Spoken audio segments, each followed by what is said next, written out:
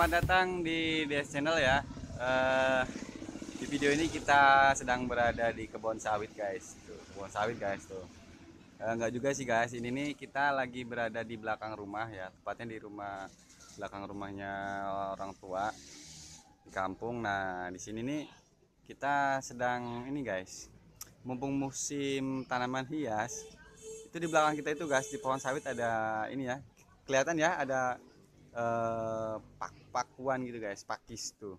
Itu bisa guys dibuat tanaman hias guys. Itu kan sangat eksotis ya. Jadi kalau ditaruh di rumah, di pojok-pojok rumah gitu ah bikin teduh gitu guys, bikin apa? hijau gitu. Rumah kita dijamin langsung adem guys, bagus. Kita deketin lagi ya guys ya biar kita ngelihat secara detail kayak apa tuh pohon pakis-pakisnya tuh. Banyak guys, ada kadaka, tuh ada apa sih namanya pakis-pakisan gitulah pokoknya ini di belakang rumah guys tuh di belakang rumah kebetulan dulu bapak nanam pohon sawit ya jadi sudah besar banget udah tahunan puluhan tahun nah di situ eh, udah tinggi banget nah di situ ada pakis-pakisan guys tuh Guys.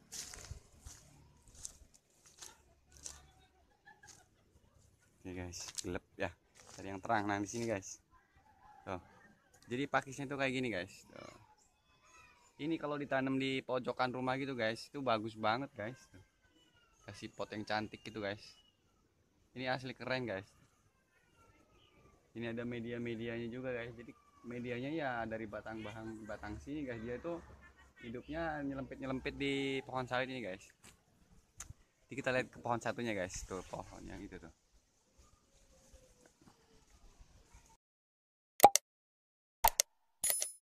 tuh pohonnya guys yang sawit yang nah di atas atas itu guys. Tuh di atas atas itu kayak ada pakis apa ya pakis berdoa gitu loh guys. Bagus tuh guys. Cuman tinggi banget tempatnya. Nah ini yang tadi ya. Jadi yang ini eh, untuk pakis-pakisannya di pohon sawit. Kayak gini guys. Dia tuh menjuntai gitu ya Oh, jadi nanti kita pindahin ya ke rumah eh, biar tambah cakep. Sekarang kita lihat yang ini. Nah ini guys tuh. Ini pakisnya guys. Tuh. Ini kan kayak hutan tropis guys. Kalau rumah kita dikasih kayak gini kayak hutan tropis guys. Nah ini ada yang di bawah guys. Jadi yang ini nih ya. Ini pakisnya ini nih kayak gini. Habis itu yang ini guys. Nih daunnya kayak gini nih. Tuh pakis apa? Nggak tahu namanya. Cuman cantik juga guys. Tuh nih kayak gini pakisnya ya jenis paku-pakuan gitu lah guys semuanya. Cuman akarnya loreng-loreng belang-belang gitu guys agak serem juga guys. Takut ada ular kalau di pohon sawit tuh nah terus di sini guys jadi di bawah-bawah ini tumbuh juga kayak singonium gitu guys nih. Nih singoniumnya.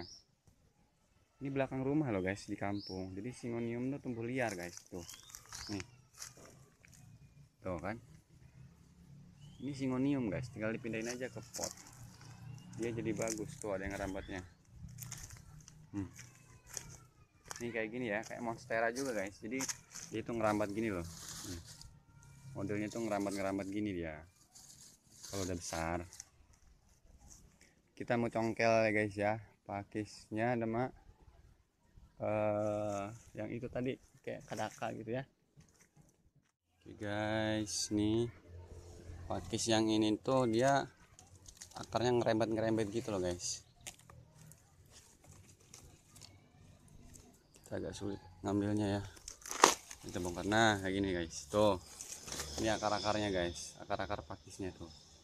Kayak gini guys. Coklatan gini wah akarnya nih. Kita bongkar lagi. Nah. Jadi dalamnya kayak gini guys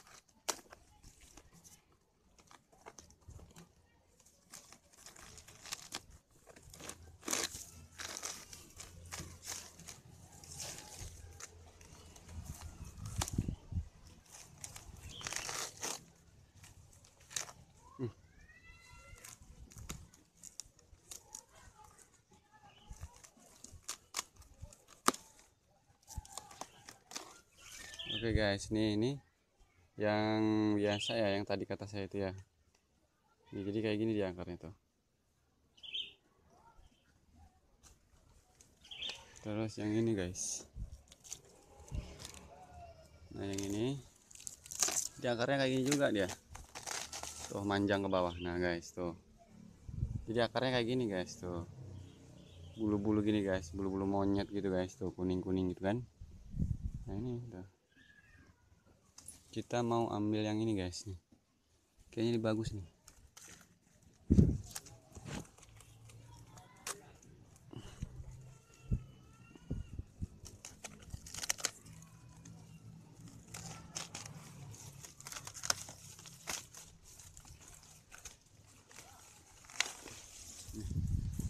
guys dah.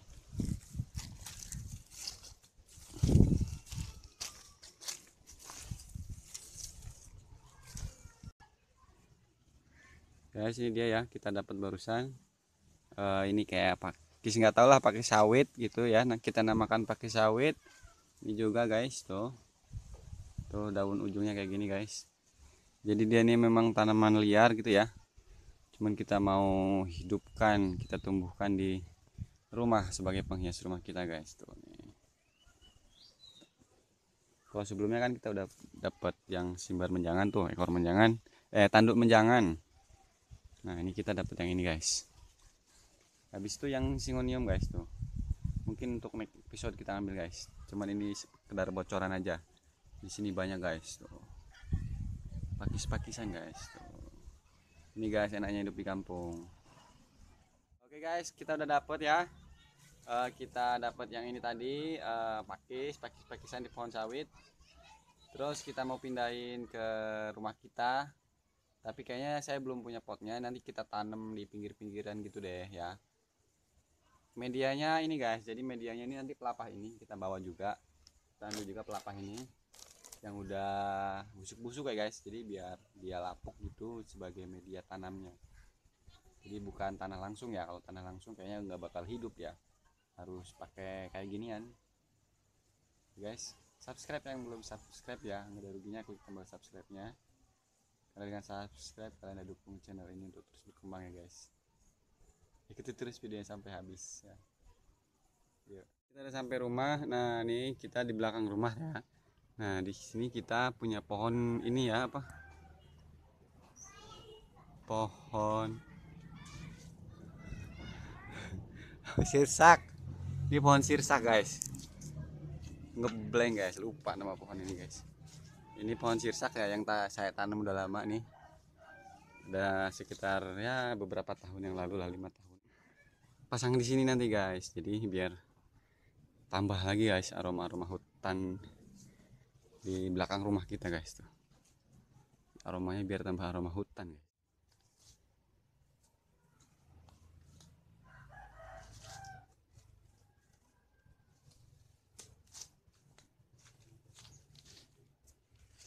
Oke guys, itu udah kita pasang, terus kita lihat lebih detail lagi. Oke.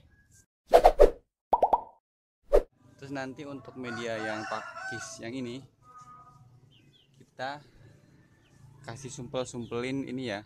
Kita sumpel-sumpelin eh, batang pakis yang udah lapuknya itu nanti kita taruh di atasnya. Nah, ini guys. Oke. Tuh, cakep guys. Ini di belakang rumah, guys jadi mungkin ini aja videonya ya semoga bisa bermanfaat ada manfaatnya uh, untuk para pencinta atau tanaman hias dan baru mungkin ya kayak saya gitu. Ya tekniknya kayak gini aja gitu jangan yang susah-susah medianya segala macam. Pokoknya ini langsung nanti disiram aja kita siram. Dia mudah-mudahan dia hidup Oke sekian videonya ya. Semoga bermanfaat. Jangan lupa untuk di like, comment, serta share Subscribe juga dan pastinya uh, Sampai jumpa pada video saya selanjutnya ya. Oke? Dadah